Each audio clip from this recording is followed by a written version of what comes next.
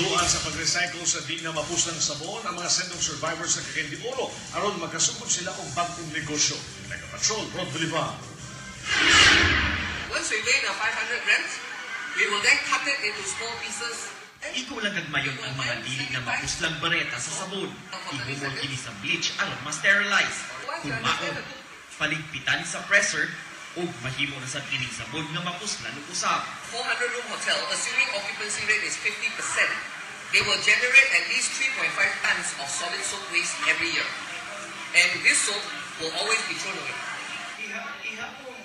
Kini nga proseso ang gitudlo sa usa ka grupo sa mga residente sa Makapaya relocation site sa barangay Kamamanaan.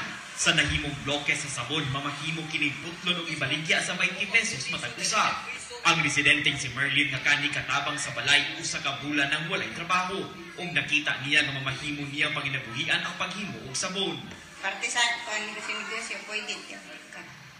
Sumala sa mga residente tungod sa kalayo sa ilang lugar, daghan kanila ang ganisod nga manarbaho sa syudad. 50 pababa, pagbalik 50, 100 na, balon pa ka. Kaya pila rin mo sweldo ko dito.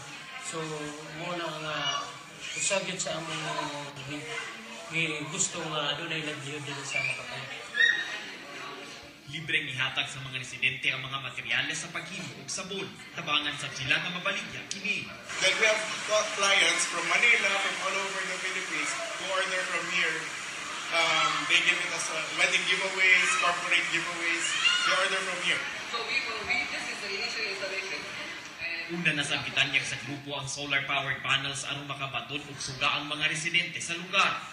Gidalitan sa sila og LED lamp aron mapustan pag-ayo ang solar power. Rob Bolivar, ABS-CBN News.